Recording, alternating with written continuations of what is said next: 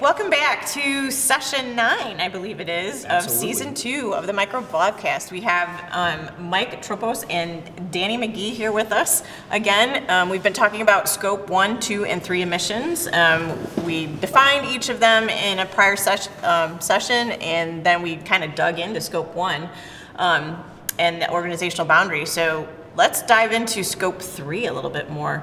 What is all involved in scope three? Like, I understand there's a whole bunch of categories. Is that correct, Mike? 15 categories. I actually just learned this, so I'm excited to teach you all about this. I don't know if you guys are gonna have to jump in at any second here, but there's 15 categories, and um, like we talked about, scope one and two you have direct control over. Scope three you don't. The best way I had it described to me is scope three emissions are somebody else's scope one and two emissions. I said, oh, that makes all the sense in the world. But some examples would be uh, traveling. So if you have a bunch of people that are traveling for business, that would be scope three emissions. Commuting. Um, if you're a, components manufacturer, if you're building something like a car, all those parts that you buy, those count as scope three emissions.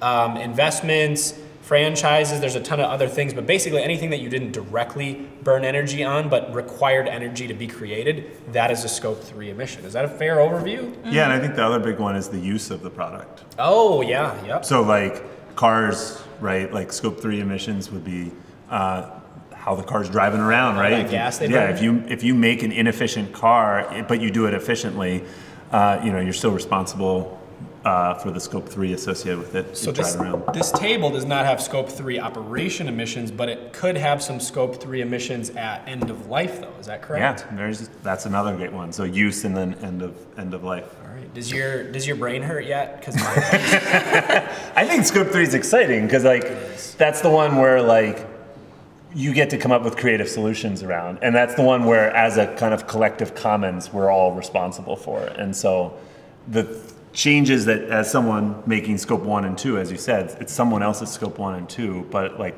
it's a reminder that we're all kind of connected. Okay.